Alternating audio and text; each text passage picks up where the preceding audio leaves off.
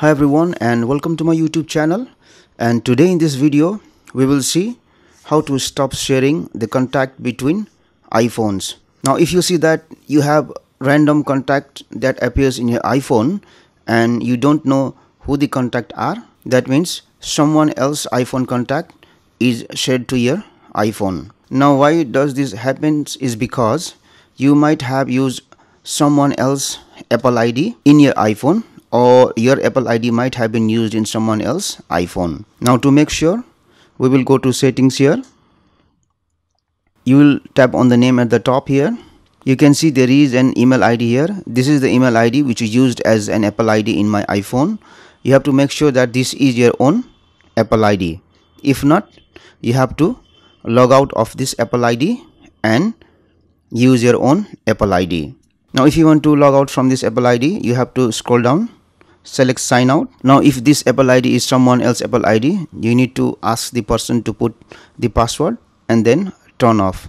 So if you do that one you will sign out from the other person's apple id and then you have to use your own apple id also if you want to make sure your apple id is used in other devices or not you will scroll down and you will see the different devices where i have used my apple id i have used my apple id in iphone 5s so since i have used this apple id in iphone 5s the contact from that iphone 5s might appear in my iphone also. Now for some reason if you want to share your apple id with someone else but if you don't want someone else contact to appear in your iphone what you have to do is and what the other contact also have to do is you have to go to icloud.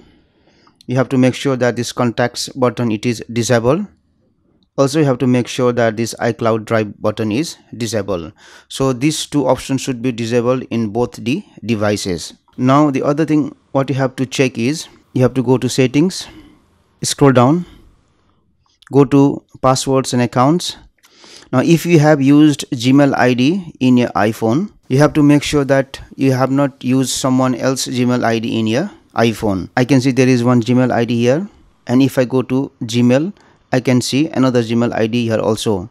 So make sure that you have not used someone else Gmail ID in your iPhone. If you have used someone else Gmail ID in your iPhone then what happens is if in that Gmail ID contact are saved then that contact will reappear in your iPhone also.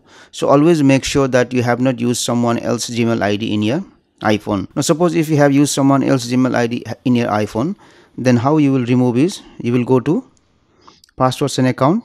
Suppose this is the gmail id which i want to remove i will select it. Then i have to select delete account and then delete from my iphone. So once i do the gmail account will be removed from my iphone. So do these steps and i'm sure your contact will not be shared to someone else iphone and someone else iphone's contact will not be shared to your iphone. Thank you for watching this video.